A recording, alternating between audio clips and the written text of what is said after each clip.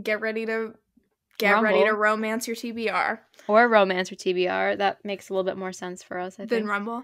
You want Uh-huh. to start with a bonkers book segment? yes, you told me that you had I have a bonkers wings. book. I do. I actually have many because I've been reading a lot, but I'll just do one. Um, because I am a seasonal reader. Ooh. mhm. I'm very much a seasonal reader. Uh, th- that I will not. I don't do TBRs because I can't stick to them, but I do like to have like large lists, large long lists of books that are appropriate for a particular season or theme to choose from within a particular month. And I'm a big Halloween girly, which Mm. means I have a giant list of paranormal, both contemporary but especially paranormal historical romances that I am excited about for the month of October. And so I just finished a book called A Wolf in Duke's Clothing. The premise of this book, it's a wolf shifter, Regency, I believe, romance. And like there's a lot of lore going on and the thing is I don't care. Same. Um like I need it to make that. sense for the like the book like I need to yes. like the plot to make sense, but I Yeah. don't actually care about the lore, and there's a lot of lore. But basically, he's a duke, he's a wolf shifter. Everyone on his estate, like they're all different animal shifters, and they're all his pack. Um, shit. Wow. and so he and his beta are back in. He's been like traveling the world for the past five years, looking for his basically his fated mate. Um, there's like a, a fancy does. Latin word for it that like I think it translates to like true love, but he's looking for his mate. Um, and basically, you come to find out that there's like this curse on his family because his parents lied to everyone and told everyone that they were like mates, but in reality, they weren't. And then they were really awful to their Oh. kids. And so then, like, the goddess cursed them. So now no one in the Oh. pack that isn't already mated can mate, and no one can have kids until the alpha mates with his like Oh. true love fated mate and he's been gone traveling the world for the past like five years looking for her and for some reason and this kind of lost me but again i wasn't paying attention to the lore for some reason he's figured out that she is she must be an aristocratic lady of the ton i don't know why that's i don't remember how he figured that out but he's back and he's looking for her and he's at this ball and he scents her and he's like oh that's her and he goes and finds her she's a wallflower um and he like drags her out and makes her dance with him a couple of times and then drags her off to the balcony which is very scandalous and then he like grabs her and jumps over the balcony wall and disappears into the night with her Hang on tight, spider monkey. and he basically like sticks her in his carriage and she's like Mhm. what are we doing and it's like him and his beta and omega um and he like loki kind of kidnaps her and takes her off to his estate and she's like what are we doing? And he's like well you're ruined so we have to get married now. And she's like i don't want to get married. Meanwhile felicity the heroine she's got this whole tra- she's like a really low ranking aristocratic lady. She's Mhm. an orphan.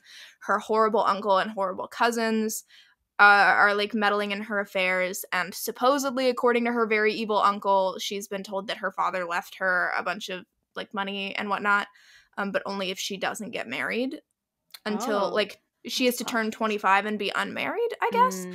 um she's also she's doing this like horse breeding thing. Her Mm. mom had this herd of mares. She's doing horse breeding. She wants to keep doing that. Um but it turns out of course her uncle is lying to her and she actually does need to get married or like she doesn't have it doesn't matter whatever. The will is missing. Her dad's will is missing. She can't get in touch with the lawyers. Ooh, something is going on everything is mysterious the duke is like um but which by the way they haven't told her that they're all shifters Yeah, I was gonna say He's like, just, like, she? no Because you know he's there are just some. like well you've been ruined um so we have to get married and also he's trying to like court her but also he's like part wolf and his wolf really just wants to like mate with her there's a lot going on I wolf you.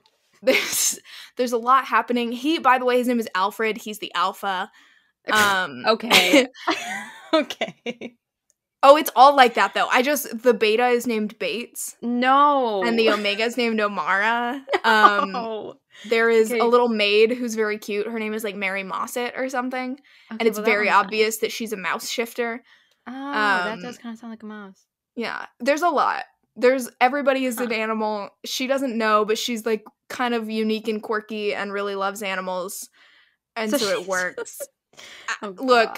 It actually could have been way more bonkers. I wish it had gone a little bit crazier. There there was um was it go hex yourself i think? And um there was this like cat shifter or like this like wizard warlock thing turned into a cat got stuck as a cat. And then he was just like the cat was like always spying on the heroine. And the um adam driver-esque hero because it's basically the love hypothesis with magic. Um and like if you look his face is on the cover like it's him. Yeah. and he would like get very angry at this cat and she was like what? He's a cute little cat. Like he's just being like a cat. And he's like get the fuck out.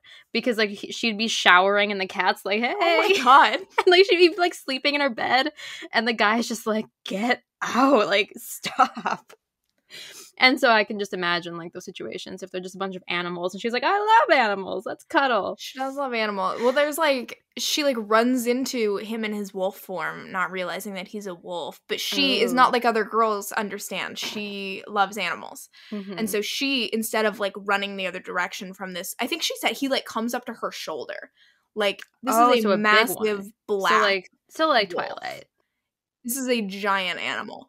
Um, but she just like senses that he's not that he doesn't mean her harm. oh yeah And yeah. so she just starts talking to him. She calls him Your Grace because she thinks he's like the most majestic and then names him Alfie. And I'm like, girl, and wh- why are you whatever? So she like tells all of her? Just problems to this wolf, not realizing that the wolf is this guy that she's like Oh, yeah. magnetically attracted to, but also doesn't like because he's kidnapped her. But she's not even that upset about it, if I'm being honest. Look, it's a weird book. mean, it's a bonkers same. book. Did I have a good time? Yes. Can I say it's like super well written? I don't know about that. but it gave me what I wanted. It was a Mhm. wolf shifter historical romance. My main note is that I wish it had gone more crazy. I wish it had been more bonkers. Mhm. But getting to our actual uh, like podcast episode bonkers book Mhm. of this episode. it is an author feature An author feature with one of ooh. uh, my favorite authors. I Same. assume one of your favorite as oh well. oh yes yes Um, India Holton, who is also Oh. just like a delightful human being. mm-hmm Anyway, um, yes, mm-hmm the Wisteria Society of Lady Scoundrels and the League of Gentlewomen Witches, and soon to be the Tea and- se- the Secret Service of. Yes. Tea and Tea and Treason? Treason. That's such a cool title.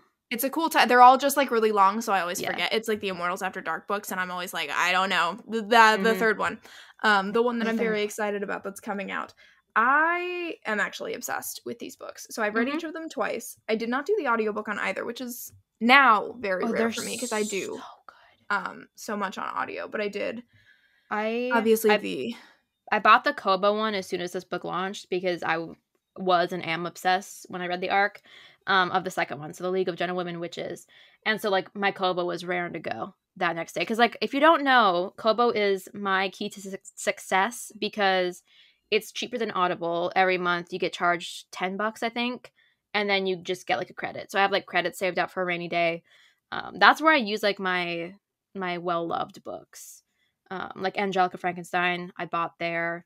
Always Be My Duchess, bought there because I have no time to wait in long library holds. So, yeah, very good audiobooks. Amazing. well, I did not do audio for either of Mhm. these. Um, I did, however. I remember downloading the like NetGalley widget of the first one, reading. I think I got through half of it before I immediately ordered the physical copy online. and was Mhm. like, I need this book immediately in my hands right now. Um, but I think I finished it on my Kindle. And then the second one I did obviously through NetGalley. yep. Um, as soon as they approved my request, which admittedly took longer than I wanted it to. I was oh, like yeah. I was chomping at the bit waiting for them to approve my request. And then when they did, I Mhm. think I read it in like a day. Um, and then when Gentlewomen Witches was coming out in when was that? March, I think. Lord my- knows, I don't know. Lovely friend Megan, um, Meg Mazzaferro, and I did um, a reread of the first book, Mm. and for us, a reread of the second book. Although we obviously waited until like it was Mhm. out and everyone could do a read along with us, and then did like live TikTok streams Mhm. together to discuss each of the books. And so that time, I tabbed and I annotated. So each of smart. those books. I wish, like, I literally bought tabs and I had this book setting, like, sitting out for that purpose to just like go through my Kindle and like see Mhm. what I had all highlighted there. Mhm. and it has never happened thus far. So also, I don't normally. I'm not a big tabber. If I'm Yeah, doing an ebook. I will highlight, but in Mhm. I if it's a book that I know I will love, I used to do more like annotations, not like tabs, but just like writing in Yep. the book. I would annotate sometimes. Typically, I only tab and annotate if it's a reread of a book that I really love, and then I'm And, like, like- okay, like I did that with all of my Emily Henry books when I reread Yeah, them. I just I always go to the audiobooks for a reread. So Mm. I and then I don't really have time to like listen and tab at the same time, which I could. I could make time. I just say I'm going to and I never do. Um but yeah, I was like looking through my ebook notes for the book too and I was like, "Oh, Alex." I don't know. It's like it's like pirate. ones that I know I want to have Mhm. notes on though. And these Mhm. ones these I think are books that I'm not a big rereader because I always get stressed out about all of the unread books that I have. Mm. So for me to Mhm. reread a book, it has to be like Oh, I reread like a all the really time. good book. I just don't have the like I will get stressed because I'm like I have all of these other books piling up that I need to get Yeah. read. And so for me to reread one, it has to be one that like If I I'm really love it and I'm gonna commit time to it. Yeah. If I'm like, I I mean, since I'm a mood reader, like if nothing is speaking to me, I will go back and like, like that I have from Libby or something, I'll go back and just reread one. Or, you know, if I'm in a huge slump, like if I'm reading like a bunch of like three star books, I'll go back to one that I know um, will give me what I want. And yeah, I I reread criminally. It's actually probably bad, but it's fine. Pushing forward. But that being said, even though I don't reread a ton, I think these are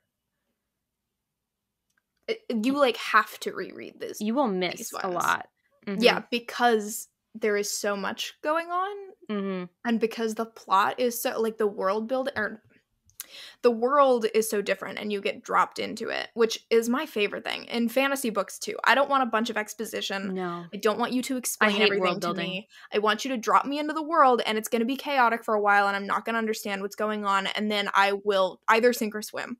Mhm. I will figure it out. And I think that the opening scene of Wisteria Society, well, even from the like table of characters, already you're getting I like what is this book? I adored the chapter headers. The chapter headers are phenomenal. One of my very first like more viral TikToks was my like recommendation video for the Wisteria Society and it's Mhm. my favorite chapter titles. Yeah.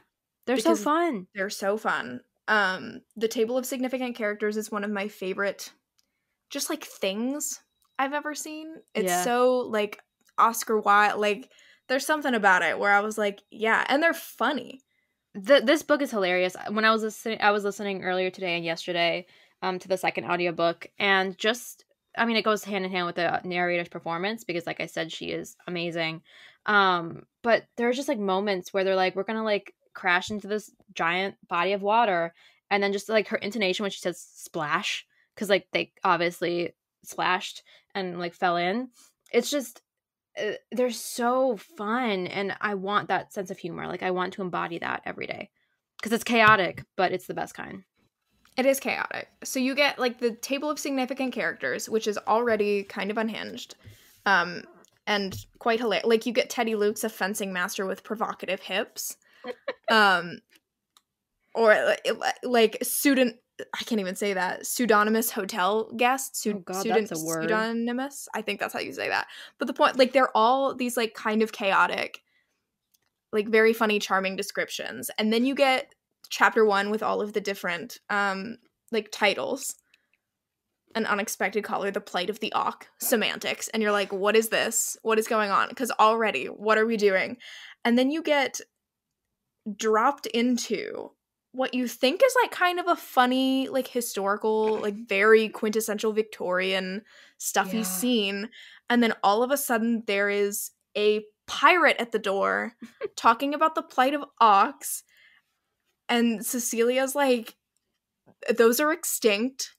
And then she goes back and she's like, there's a pirate at the door. Ned is immediately in love with her. It's just like so much happens all at once. He like throws a bomb in through the window, and you're like, what and before you know it, going on? houses are flying and I was like, flying, here we are magic is being question it. done.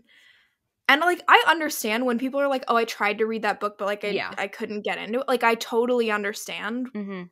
Why this book doesn't work for everyone, especially initially. I think Mhm. it's something that like if you like getting dropped into that and you're like, this is chaos. Where are we going with it? Yeah. It- I Works. I found book two a lot easier, obviously, because I already knew what I was getting and like I knew the Yes. world. But book two was so much easier to just like uh, be in from the start. Um, I mean, I Mhm. loved this. I mean, the first one was like The Princess Bride to me. It just has that like humor of Mhm. you don't really need to know what's happening because it's happening. Um, but the second one really that's that's my favorite of the series just because I love the romance and it's a little bit more romancy, I think, um, than the so, first too. one. Um, but the first one itself, like, it's just so fun.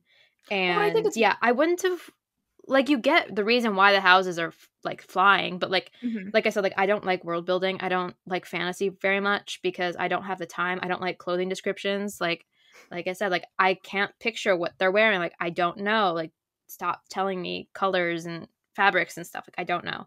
Um and so I just really had a good time having no clue. And then there's like Bronte, like a bunch of the Bronte villain thinks he's like related to Emily Bronte. no, well, yes, but the to Bra Bran the uh, the? Brom Branwell Branwell Bronte Bramwell, the yeah. brother. hmm Um, well, yeah. So I think that these are books that you have to reread because at least with the Wisteria Yeah. Society, I mean, I think that it's easier to get into the League of Gentlewomen, which is not because necessarily like the world building is any less Mhm. daunting, but just because we've already read Yep. a whole book set in this universe. So now we already know what's going on. We're just catching up on what's happening with the witches rather than like getting dropped into something not understanding what's going on. So I think if I had Mhm. started with the League of Gentlewomen Witches, maybe my response to it would be different. Unclear. But I do think because the first read of these books, I spent the whole time trying to figure out what was going on and following the plot and then just like figuring out the initial romance. The second time I read it, I already understood the world. So Yeah. I, I wasn't confused and trying to figure that out. Um, I already understood where the romance was going. And so I caught approximately, and I don't I don't want to be dramatic here, but I I would say probably around four thousand more little jokes and references than I Yeah. did the first time. Because every like practically every sentence is like a wordplay or some kind of joke hmm or like an allusion to some literary thing. That It's happened when I when I listened to the audiobook. Um cuz like obviously I read it and then waited until the audiobook came out and there's just so much and I definitely haven't even picked it all up. So like I Oh, could yeah. like physically go back and reread this and have a completely different experience, which I think is the best part of rereading. Sure. Like whenever I reread something, I will always pick up more stuff. yes. like I said, I am very slow on the uptake. Like I am not the, you know, brightest bulb of the bunch. So um I am always excited. And I also have a terrible memory. So I will forget what happens and be so surprised when I reread. I mean, Well, I these just are, know you know. Yes. I just know about myself. Like, if I want to do any kind of critical analysis, and this is a book Mm. that I think lends itself to critical analysis, particularly with all of the literary illusions. Um, if I want to do that at all, it's gonna have to be on a reread because my Yeah. critical thinking brain is not on on the first time I read a romance. Like, I just I need to like absorb the plot and like the actual romance itself, and then when I go back, I can unpack it. But like, Mhm. there are just so many like running bits that I caught on to that I didn't the first time. I um, there's this running bit. I think it's one of my favorites where she refers to the wits, like her wits, as little characters. Where I, I just flipped to this one at random, but where it's like Cecilia's wits drag themselves up, shoving arms into jackets, slapping helmets on heads, coming more or less to attention.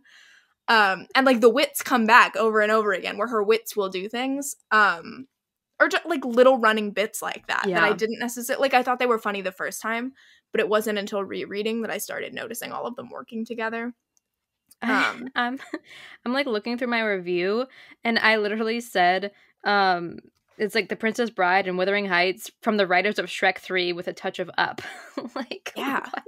Like Shrek 3 like there's just something about Shrek that really feels like especially like the second like through cuz like the first Shrek is its own thing, I think. Then they get really into like the fairy tale. But like the villain was so much like Prince Charming. Where like Prince Charming is just so dramatic and like absurd but also hilarious and you also kind of want to root for him like that's how i i felt with just like the drama of this man thinking he's related to the Brontes and making it his entire personality, which like I would too. Um, so it like Shrek 3 really stood out to me um there. And you know, that's maybe like just a me thing, but I sure loved it.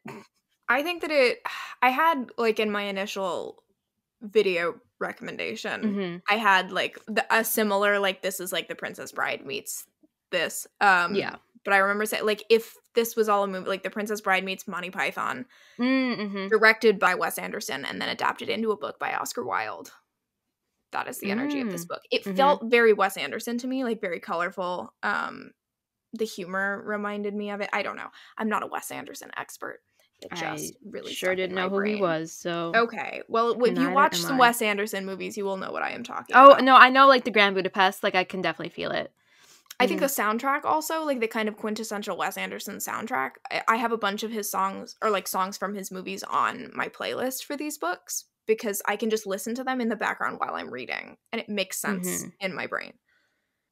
Like there's a very specific style to these books and I, there is literally no like other comparable books that I can think of The- that I'm like, the oh, these have a similar vibe. The only one that I have found is completely different, but also just like fucked me up in the same way was the Undertaking of Hart and Mercy. Um, like it's so unique and odd and weird that you know they're really not similar really at all, but just the way it made me feel like when I was reading it, I was just like, I have no Well, clue what's happening, but I don't want to yes. know, like, because you're just also thrown in that one, and you got You get weird ass into words. this weird fantasy world. Mhm. and and so like roll you know if you like that book or like the Wisteria Society or like the League of Gentlewomen Witches, maybe read that one. Um, because I can see why people for both books would be like, this is just not for me, which Mhm. totally valid. Um, they are wrong, but they are valid and entitled to their I- opinions, even if their opinions are wrong.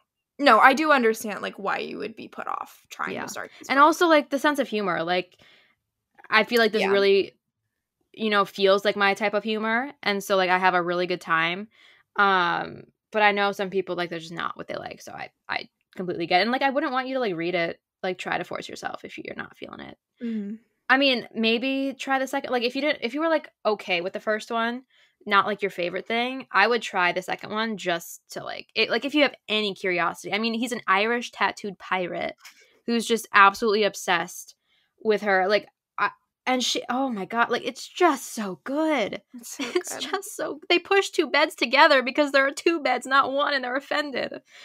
Like, it's just If I had a nickel for every historical romance with a DIY one bed trope, I'd have One two nickel? nickels. You'd have two nickels. I would What's the have other two one? nickels. The Duke who didn't.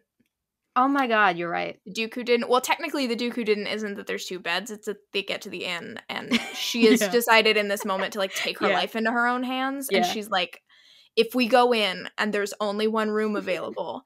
That'll be the sign I need to like sleep with this guy that she's been in love with. And then they get there and the the inn what's like, his "No, name? Like so the guy many." is like, yeah, we have a lot of available rooms, and she like slaps money down on the desk and is like, you only have one room available, and that man is Yeah. so confused, but he's finally like, okay, I guess. Which I I, count as DIY one bed. And Oh, for sure. Charlotte and Alex also seeing the two beds, and they just go, Mhm. no. So they push them together and they're like, here's one bed. Which also creates for a really lovely, like, chaotic Uh huh. um moment where she's like, and then the world fell out from under them, but it literally because the beds had come apart. Because they were Um, going at it. Ugh. I listened to that so scene good. twice this morning. Um, what I do, what I like to do, is end an audiobook right after a sex scene. Like if I have to go to bed or if I have to like go to work or like do something, I'll get to that point, end it, even if like I have a little bit of time left, because then when I like start the audiobook up again, I'll just hit that good old rewind button Oh and listen to it over again. So I listened to it twice today and I had a very good time both times. I just always like I tend to pause in those moments because Mm. usually they precede some kind of like breakup or something going wrong. Yeah. This may be because I read a bunch of Sarah MacLean back to back and her Mm, like mhm. if they sleep together, that's a sign. He's probably gonna leave. Something's gonna Yeah. happen immediately And that- after. so that I always like me- get to that point because they're emotionally happy Yeah. and then I can like pause and come back to the breakup This- because I'm not ready for it. And I don't want to pause in the middle of it. this first one for them happened around like 50%, so there there was enough time. But I hate when that like I know like sometimes that happens and like it makes me sad like when you know they're like all cuddly and then you know something bad's going to happen. You see Um, it coming. Yeah. And but that definitely happens a lot. I just realized we never gave like I guess if you're listening to this, you've already read these books, but we never talked about like the premise, like what these books are. I don't even know how you. I describing these books, I hate it Uh-huh. because they're fantasy historical romances about lady pirates who fly houses, um, and follow very strict Victorian Uh-huh. social fir- rules. The first one was two pirates together. Sure. Um and he was he was technically like the enemy a little bit because he was working with the enemy. he was working with everyone else though. but he was also like trying to seduce the enemy, but he was like not. It was just he was hired by her like I think she's her godmother She is, yeah. to assassinate. name? Um, I am blanking. I don't remember, but she's amazing. Lady Mhm. Armitage, Armitage, Um, yes, that's the one. who is like very close with Cecilia's aunt who raised her. But by Mhm. close by, it means they've been like trying to kill each other for decades. with love, yeah. Like um, so they- she hires him as an assassin. Mhm. Well, also Ned also has really many attracted to him. names. Sure, she's very into him because it's Ned. Um, yeah. and everyone's attracted to Ned in all of his Mhm. different disguises. Anyway, he's hired to assassinate her, but he's also in disguise working for other people and also working for the queen, but he's also working for himself. Mhm. But he's also actually like trying to save Cecilia because he loved her mother, not in like a in love with way, but like yeah, he her had mother he was had- really kind to him. Uh huh. And then he like, yes. I don't know if I want to give it away. Like if you've read it, like if you like pause, skip, whatever. There's like he's got like a locket or something, and like so he like Yeah. knows what the mother looked like, and then Cecilia looks. Which everyone has, by the way. Everyone has a picture of Cecilia's mother. Mm. It's like a running thing. And Cecilia's Ah. like, why do all, like, everyone is obsessed with Cecilia's mother. I wish I could find. Yeah, I Um, I wanted to read this one more so than the second one because I remember less of the first one. Um, but the audiobook was like holds galore at like every library that it was available at. Well, I should have um, just dug and- out my notes from Well. I have I have the PRH audio, so like I can request it from them, which I'm going to do, but I didn't have time because of course I wait till the day before we record um to do this. Um but yeah, I but I um Ned has this really lovely observation about like Cecilia being the key or something. Like Mm. Cecilia is the center of everything. Even though everyone seems to be focusing on her mother, he's like Cecilia uh, is the center of this. Like she unlocks it. Um there's a lot to unpack with like There- Ned's relationship with her mother. We're really everyone's relationship with her mother versus how Cecilia feels about herself and her relationship with her mother. Cuz then her father is the villain. Yes. the one who thinks that he is related to Bromwell Bronte. Um and so and then he did did he like kill her mother or like there's a lot of like emotions there in the sense that he's the villain but he's also just like over the top Prince Charming esque um and absurd. And then there's also the Lady Armitage, which is she working with the father or are they like not in cahoots? I really don't know. Um, hopefully you've read these because this will make no sense to you. yeah, I, you haven't read I'm these so books. sorry. I mean, if you haven't, like, this is a great time to read them. It's like witchy season, and they are great for laughs. They're also yeah, they're just so so funny, and you will Mhm. not get all of the jokes. No, Not even the second time through. Um, no, I also caught Star Wars references on the second Yeah. time through that I was so I was like, how did I miss that the first time? I found my notes from the last time I did a read along, which is why I'm like, ah. Now, these are super out of context, so I'm like, what notes was I talking about? I have one note that's just Patrick, Patricia, and Patricide, and I'm like, well, because her the father's name is Patrick, right? yeah, I it's like make that up? Patrick Morvath. Captain Morvath is just what it's called. So technically, Ned is also working for the Captain Morvath, which is her father. So then that's why he knows about her mother. But then he's also with Lady Armitage, and she thinks that he's going to hook up with her. And so she's just like raring to go, dusting off the cobwebs. And he is rather scared of that. Um, I want to do a deep dive on like each and every one of these characters. Um because like Ned in particular is so so fascinating to me the way that he has like all of his different names Mm-hmm. that are all some version of Edward Light or Lightborn. Yeah. Like Ned Lightborn, Eduardo de Luca. He's got a lot going for him. Yeah, and then he's also he has a different name when he's like working for the queen, but it's Mhm. also like Edward something about light. also I don't know how you get Ned from Edward. Like I get the Ed, but like where's the N come from? I'm It- gonna be uh, honest, there's a lot of nicknames that are like that. I, it disturbs me. I mean, like Dick Richard, like I get it. Um, I'd be more disturbed by that one, like if I was a Richard. Um, You get it, but you don't get Ned. No, no, like I get like that. I'm not like I'm not gonna get it. Like I Oh, get that I have to okay. accept I was it. like, I I don't know where they came up with that one. Major Candant is his um Ooh, Major Candant. ooh. Yes. In Samara Parish's one, Edward is also called Ned by like his siblings, and I'm like, who are you talking about? I was like, oh yeah, it's Edward. I I get like very Ned. confused. I think it's a cute. would not want to scream Ned in Throes of Passion. right. I this Ned. is this is actually true. This is kind of a tangent. Um, and once again, I sure do hope by now no one related to me is listening to this. Please. But I have this rule which my best friends from high school know about. I and presumably some people who used to be friends with me in college also know about it. I have a rule where okay, rule is a strong word. Basically, when we would be like on dating apps or like Mhm. talking about potential guys, I was it's not a rule, it's a test where I was like I am not interested in swiping right or going out with a guy if I cannot moan their name with a straight face. Yeah. And so we would like test name. I mean, okay, that's like actually not a deal breaker. It's not going to It stop kind of- me. But, But it's a it makes- consideration. Yeah. No, that happened to me. There was this guy in undergrad. I won't name drop him, but he had a name that I generally do not like because he is a villain character in an 80s John Hughes movie. And um I now despise I want to know. You'll tell me I- later. I will tell you later. I thought I could handle it, and then as soon as I broke things off, it was like this breath of fresh air. Like weight was lifted off my shoulders, my skin was clear. Like I was so much happier. Rest in peace to that guy. Yeah, yeah, it didn't go well. you thought it was more than it was, and I was like, no, thank you. I apparently have uh, commitment issues. like once This is turning into a therapy session. it is because like once like I'll have a crush on someone for like so long, and then if I end up with them, immediately I'm like, I have a better imagination Oh my god. than you are as a person.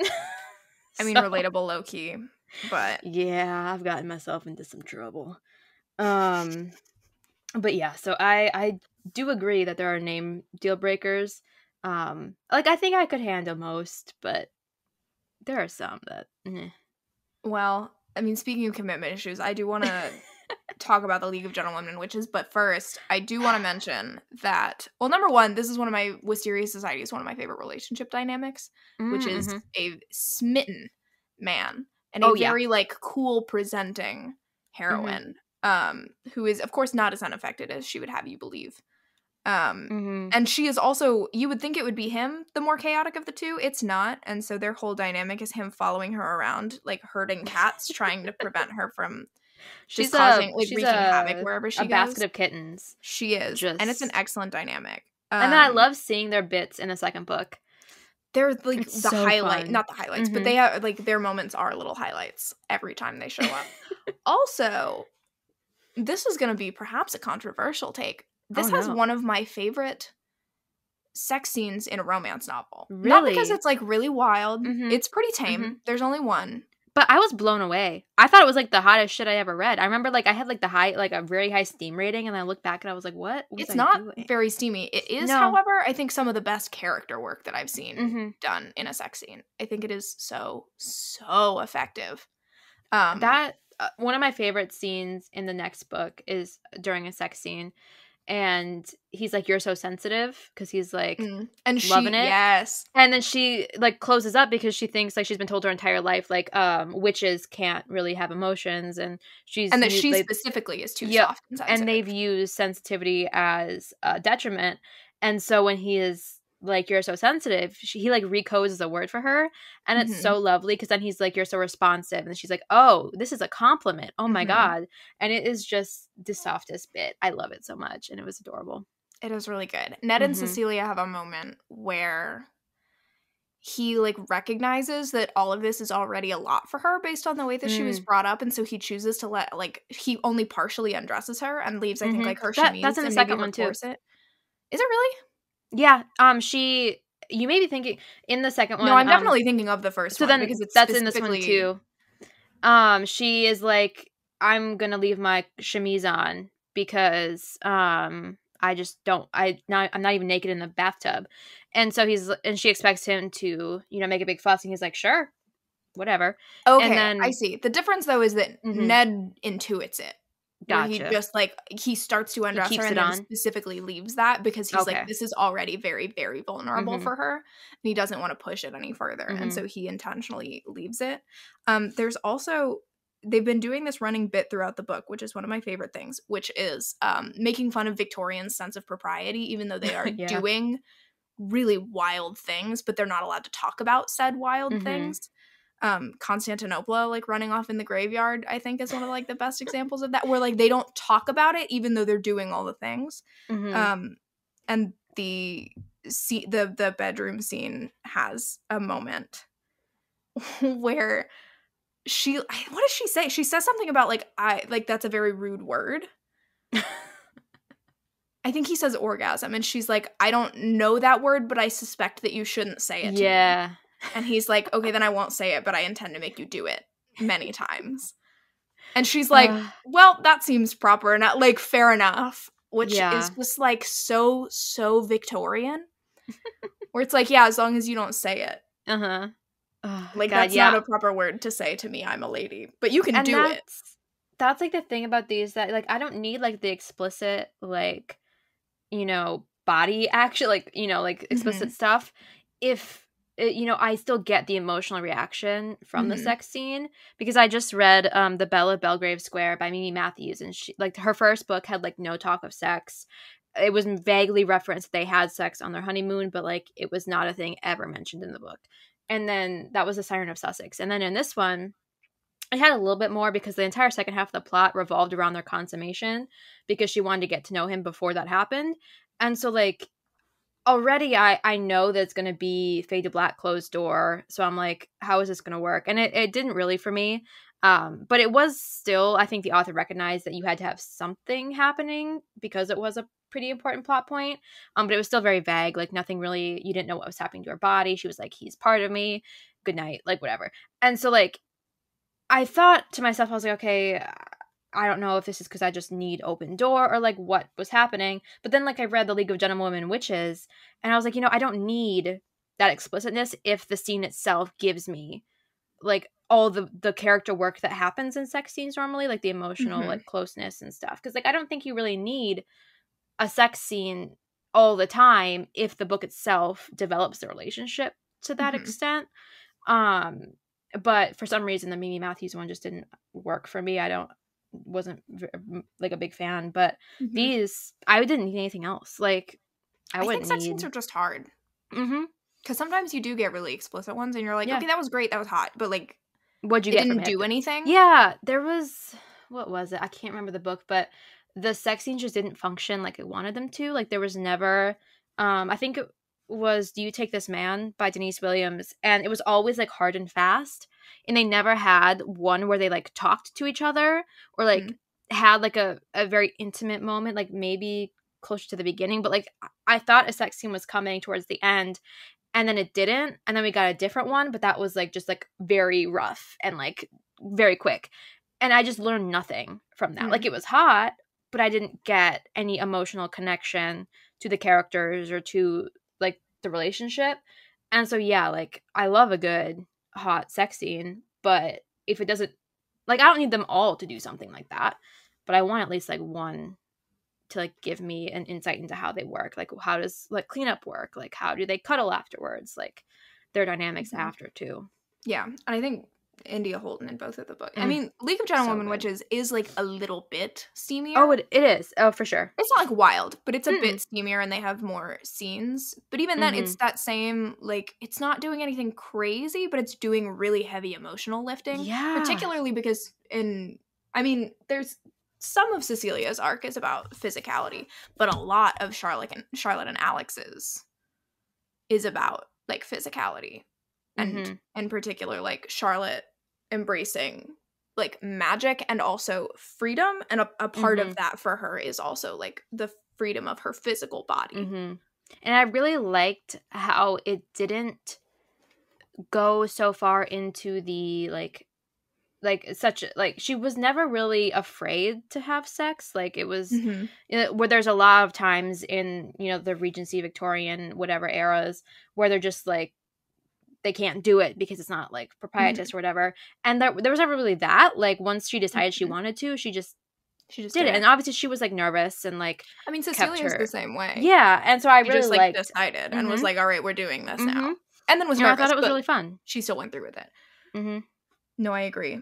Um, I love Charlotte This one feels Oh. like a, I'm gonna say smaller, like in scope romance Yes, than the first sure. one to me. It feels much it's more like a road trip. and intimate. I mean, I mean, the first one is a road trip too, in a But sense, but more plot heavy. yes, like this one is, like I said, more romantic or like more of a rom, not necessarily more romantic, but more romancy. They're together a lot, and I think because you don't have to have everything that happened in the first one to like get you grounded.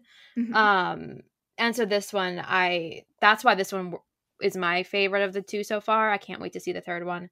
Um, I mean, he's an Irish tattooed pirate. Like I, I can't get over that Well, really at all. also, oh, Alex O'Reilly and his And his scarred name. boots And his scarred boots. his scarred boots that come back again and again which by the way parallel her boot i could write an essay on like alex and charlotte as character foils and the way that like Yeah. their trauma Yeah. mirrors one another and it comes down to their boots like quite literally his like tall scarred boots that she repeated repeatedly is like depending on a woman's education they can make her tremble either with fear or like excitement True. and I was like relatable. Um, and then Charlotte's got various pairs of like very pretty, Mhm. fashionable boots that will then like shoot out poison darts or like create a cloud of fumes or like do all these things. There's a, also a line that lives in my head rent free where Alex is like, "Do it, step on me with those vicious little boots Yes. of yours," and I was like, "Step on, me!" And then he was like, "She's gonna annoy me into an orgasm." stop!" I was dead, dead on the ground. Alex Ah. gets it. He really does. Um, he, uh, and then uh, when he first realized he loved her, I'm of course not gonna be able to find it, but I just loved like he was like, okay, that's that's what's happening, and I thought it was adorable. Um, yeah, I that book, I was so in love. I'm gonna try to find. I wish I could. I wonder if I'm gonna be able to find the exact quote, but there. Page 143. Why do I have that marked? Oh, that's okay. I don't know. There was a line or like an exchange that really. I mean, they open up about their trauma periodically. There's a moment in the jail specifically, or like the dungeon, where Alex like Mhm. goes into detail about what happened to him. But there is one exchange in particular, and of course I marked it, and now I'm not going to be able to find it. Where basically Relatable. he he's like someone should lock you up in a in your room and only let you out on Sundays. And Charlotte says, "You just described my childhood. Someone should like." I don't remember exactly what she said, but something about like like beat you, right? Like somebody Yeah. should beat you, and he says, "And you just described mine." Ah, Where like both of them really downplay yeah, like their childhood trauma into a like Mhm. kind of a like jokey little exchange but if you're paying attention that like hits where you're like both of those are like whew ow are you guys okay and they're not but then they like are able to open up hmm emotionally in each other and also in the wind there's like a moment where she's standing on the roof with like the wind blowing in her hair and i was like bye this like makes me want to sob actually like clutching your cardigan. Um, like fully Yeah. i just want to burst into tears every time Mm. charlotte is like oh magic is like beautiful and mhm. freeing And from me, the less beautiful and freeing side, and just the hilarious side, when she describes um, the gentleman's fifth tumescent limb, stop. I love that line. or like small tumescent limb, it's like the gentleman's like, small never- tumescent limb. oh i found the like- exchange. She says there should be a law against men like you while he's kissing her. Uh-huh. That's critical. And he says there is. Someone should lock you in a room and only let you out on Sundays. You just described my childhood. She thrust fingers into his hair, tilting his head back so she could kiss his throat. Who can I hire to have you beaten to a pulp? And you just described mine, he said. And you're like, oh. And they're like making out, but also. And then he goes, That's my witchy woman. Maybe not at that time, but he was really just like, That's my witchy woman. And I was like, Every man should say that. Step on me with those vicious. I'm really just finding all the quotes actually. Now that I'm looking Mhm. at my tabs, step on me with those vicious boots of yours. I just passed the one. It's ungentlemanly for you to tell me what to do. Actually, no, I take that back. It's entirely gentlemanly. You, sir, Yeah. represent all that is wrong with our patriarchal society. And you, madam, are the most enticing creature I have ever known. I want to lick every inch of you. He did love to lick. the Mhm. perfect character dynamic, dare I say.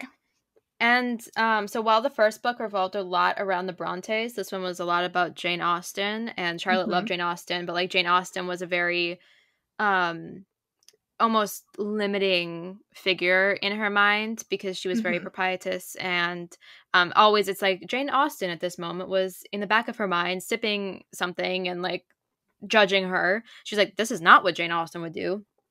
Um, and then at one point, Charlotte had to declare, after all, there was no enjoyment like lovemaking.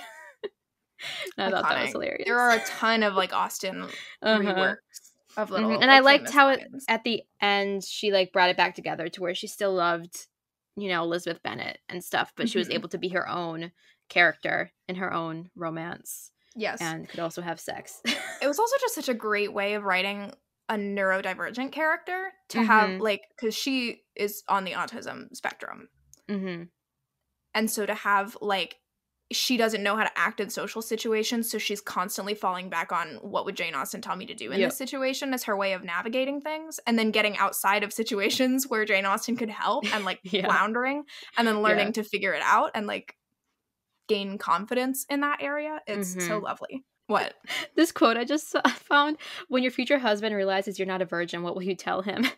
to angle slightly to the left and rub with his thumb. And that is so like not the Victorian heroine, like where she's like, and what about it?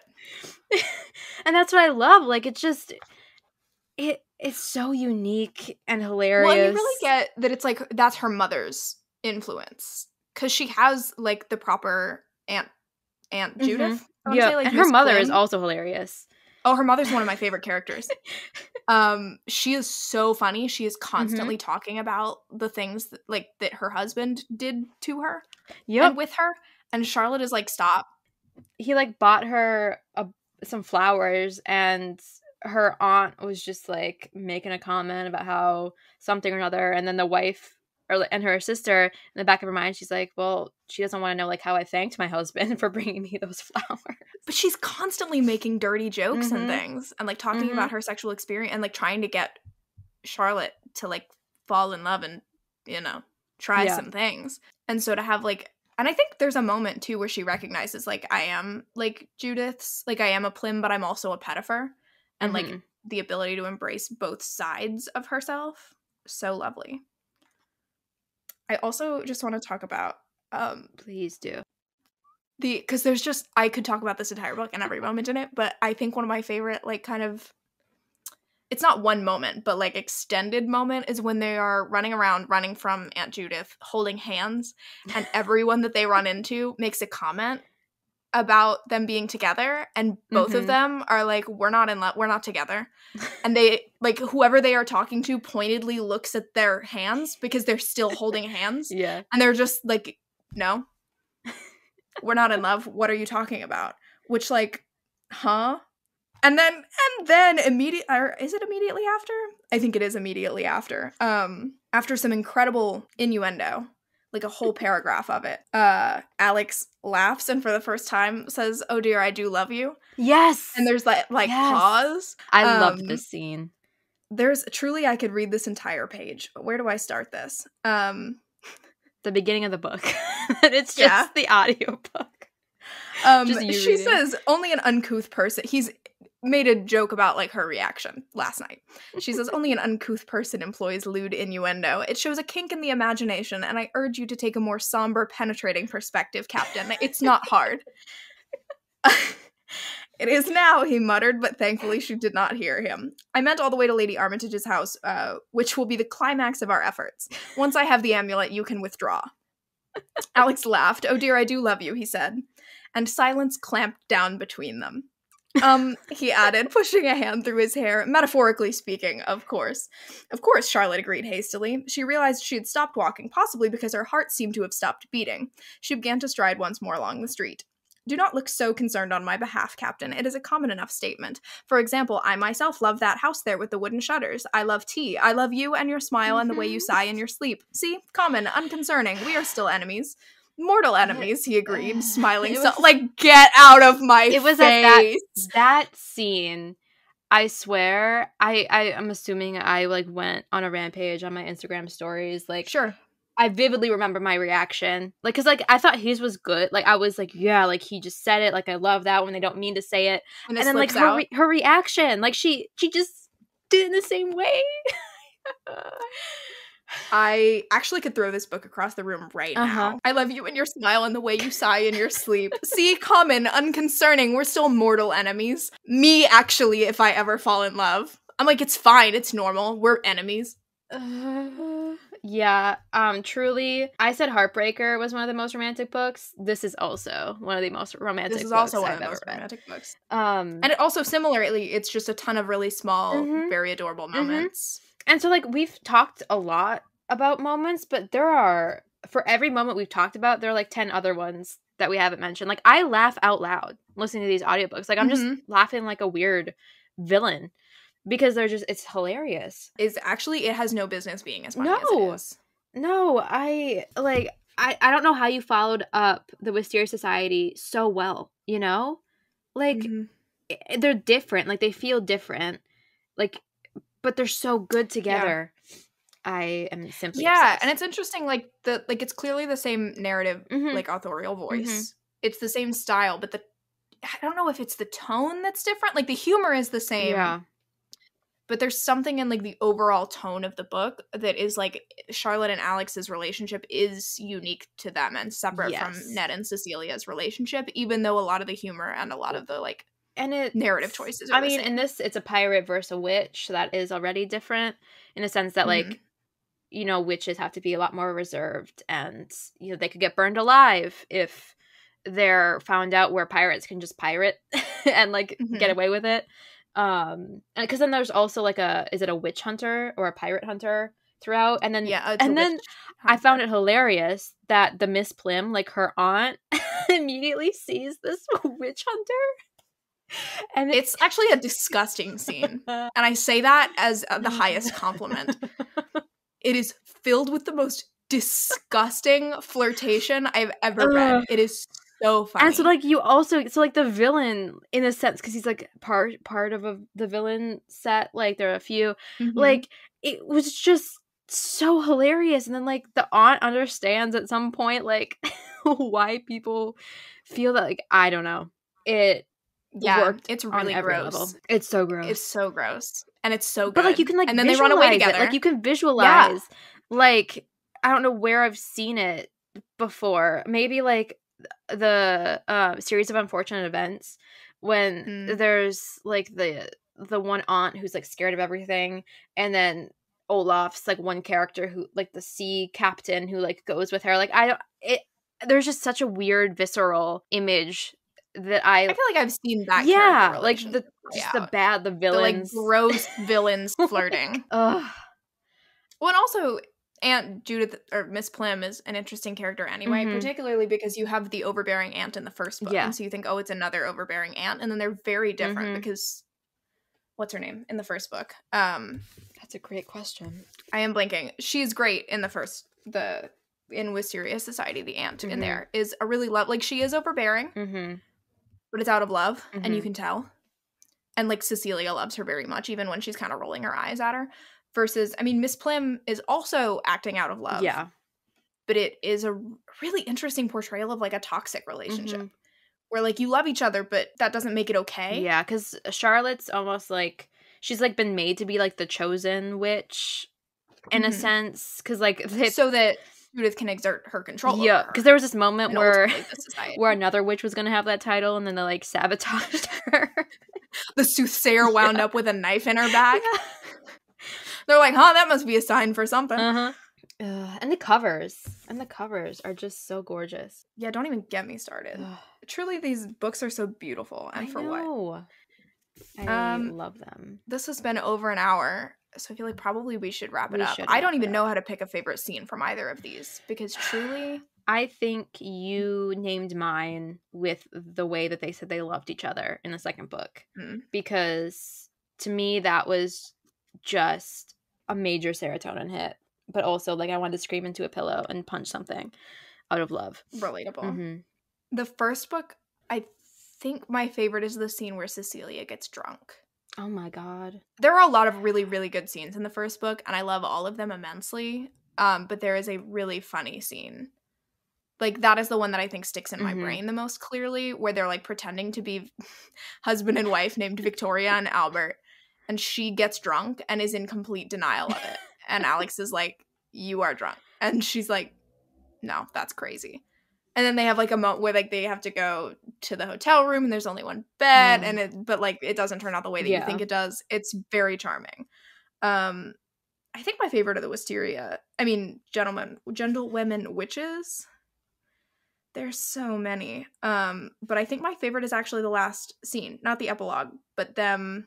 Well, first they make love and float onto the ceiling Oh, yes. while they are doing it because Charlotte is just like so overwhelmed with happiness that her magic makes them float onto the ceiling. hmm And it's so lovely. And it's after um why am I going to cry looking over my notes for this scene? Um where they're like about to have sex and she realizes that like he's silencing her with pleasure and using intimacy this oh listen i'm about to start a whole other disserta- dissertation.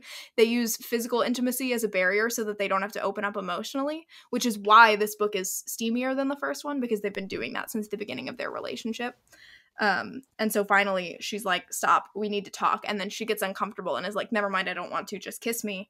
Um and he's like no you're right we're gonna talk. So they have to have this whole like moment where they open up and have a conversation about how much they love each other Mm. and you know all of the things and then